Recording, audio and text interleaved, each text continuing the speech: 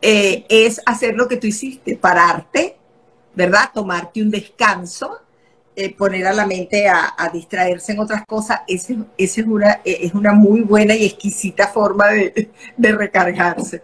Ahora, fíjate, ¿cómo podemos nosotros aumentar esa energía que tenemos y que necesitamos todos los días? Porque la gente a veces dice, y tú lo oyes con mucha frecuencia, que dice, mira, estoy cansado, estoy fatigado, parece que no doy más. Este, y generalmente la gente asocia eso a cansancio, ¿verdad? Déjame, eh, déjame reposar un ratico aquí, que eso me debe pasar. No, el agotamiento, tanto físico como mental, tiene sin duda alguna serio un impacto en tu productividad, en tu eficiencia y en, en que tú logres las cosas de mejor manera. Y cuando nosotros decimos la energía, cómo nos recargamos, yo siempre digo, la gente anda en este, en este mundo corriendo a prisa y no se detiene a pensar que el cuerpo necesita recargarse. Es decir, nosotros tenemos, es como si, imagínate un celular que ya en los últimos momentos de su batería ya no da más, no procesa absolutamente nada hasta que se apaga. Si el cuerpo tú no le alimentas y lo recargas, él se va a apagar. Esas son las cosas que tú ves que a la gente le da, mira, yo estaba en un sitio y se me fueron los tiempos, porque es una máquina que se nutre con una cantidad de cosas que nosotros debemos hacer para recargar esa energía. Y esa, esa energía tiene un impacto absolutamente en todo lo que hacemos. Eh, cómo produce el comando el cerebro, cómo funcionan todos nuestros órganos. Entonces, lo primero que nosotros hacemos para ir consumiéndonos la batería de nuestro cuerpo es que por la vida que llevamos, la carrera que llevamos, mira cómo come la gente, la gente come en los escritorios, la comida rápida, ¿por qué apareció la comida rápida? Que es comida chatarra, supuestamente. Aparece porque estamos contra reloj. Porque yo lo que tengo es unos minutos para pasar por un, este, un dispensador o un drive-thru, como le dicen en las comidas rápidas, y agarro mis cosas y sigo. ¿Cuánta gente en las oficinas uno ve comiendo en los escritorios?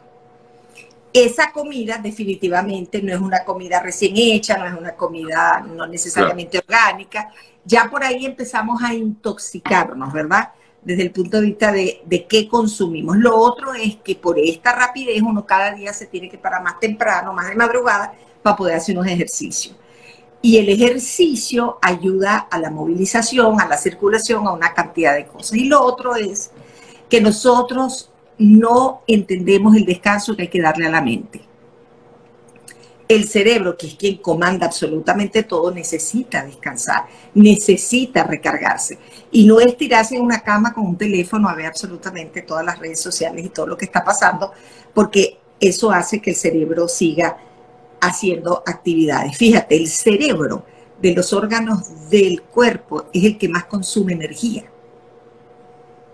Entonces, ese es el que menos queremos descansar hoy en día. La gente puede estar conectado en computadoras, en televisores, porque es que hay la oferta audiovisual es tan exponencialmente alta que tú puedes ver cosas a través de tus dispositivos eh, que tienes a mano, el teléfono, el iPad, el televisor, ahora es on demand, este, las computadoras puedes conseguir lo que quieras, pero es una decisión nuestra decir, yo tengo que parar.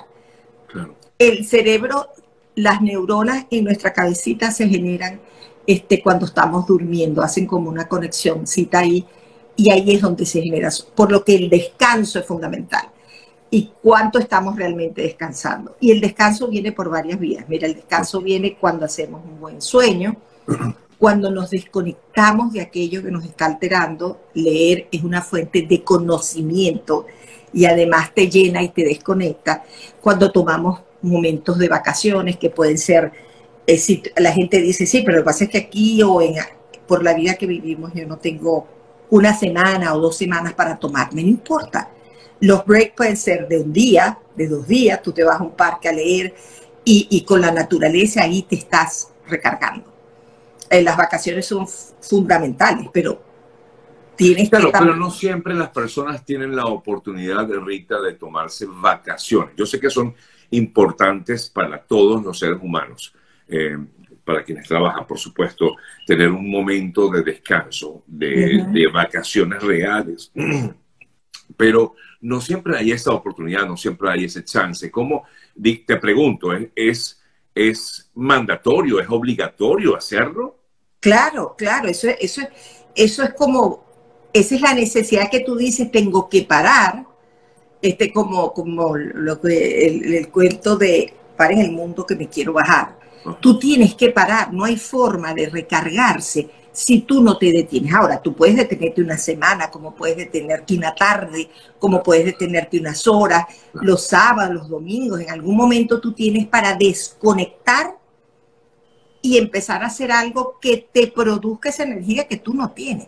La energía comanda el funcionamiento de nuestros, de nuestros órganos, la energía es lo que necesitas para pararte y seguir con todo lo que todos los días trae. Cada cada día trae su propio reto.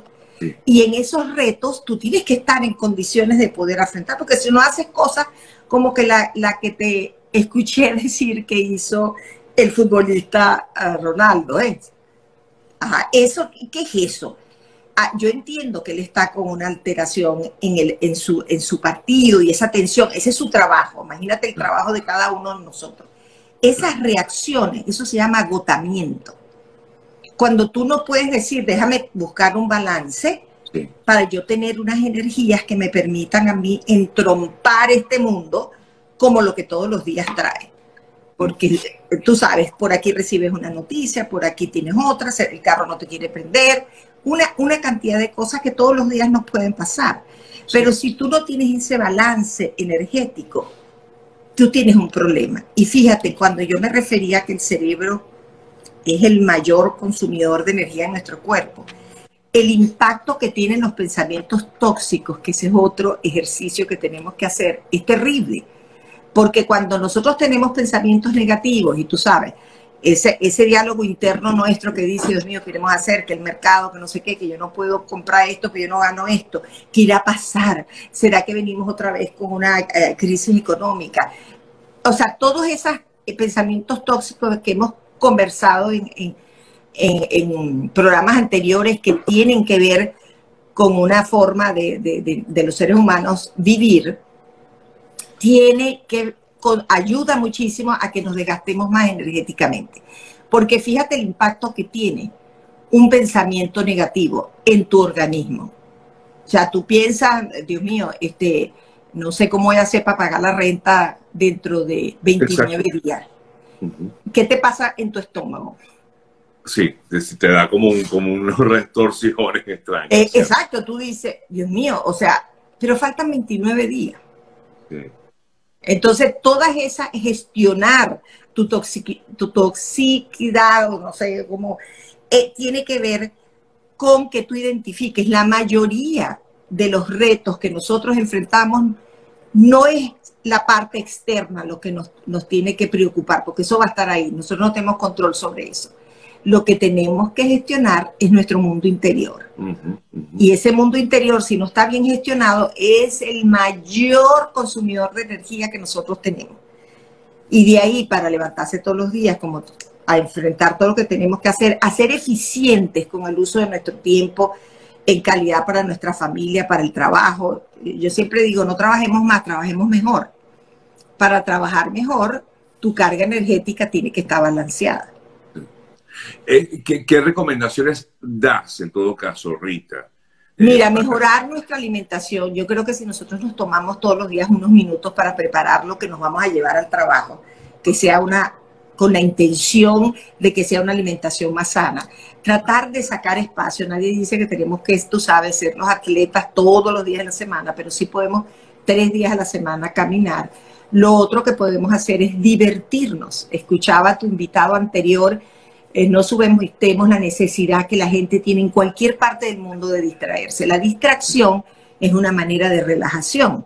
Sí te entusiasmas, hay una conexión con la pasión, con lo que estás viendo. Tomemos espacios para distraernos. Y como tú decías, cada quien se distrae de acuerdo a lo que quiere invertir en su distracción.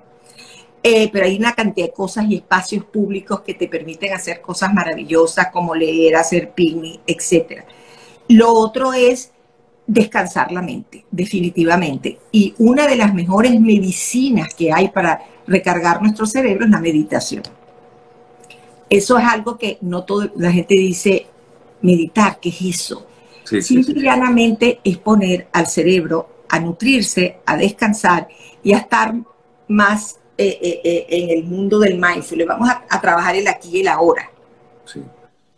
Conectarnos con, con, lo que nos llena de forma espiritual también, ¿no? Es un poco Eso te iba a decir. Eso es otro aspecto importante. La espiritualidad. Cualquiera que sea tu creencia, el ser humano hay cosas que no entiende Sergio, y que nunca vamos a entender y que no comprendemos, bueno, vamos a entregárselos a, esa, a ese ser superior, el que sea de cada quien que nos esté conectando, este, y, y, el, y en esa fe cultivemos la espiritualidad de que las cosas pueden mejorar en cualquier momento y que están en manos de alguien que eh, eh, tiene a lo mejor un poder que tú no puedes tener, ¿no? Y cuando los seres humanos entendemos que nosotros tenemos dos formas de, de, reaccionar. ¿Nos adaptamos o definitivamente reaccionamos? Y siempre decíamos, la adaptabilidad te permite no consumir tanta energía. La reactividad te pone, tú sabes, a desgastarte porque tú quieres como decir, no, no, no, esto no puede ser, yo no me lo voy a calar. No, no, eso está en tu control. Si está en tu control, haz lo que tengas que hacer. Si no está en tu control, no sigas reaccionando ante algo que te va a agotar física y mentalmente y que no va a contribuir con que tú sigas con tu objetivo, tu enfoque o lo que necesitas.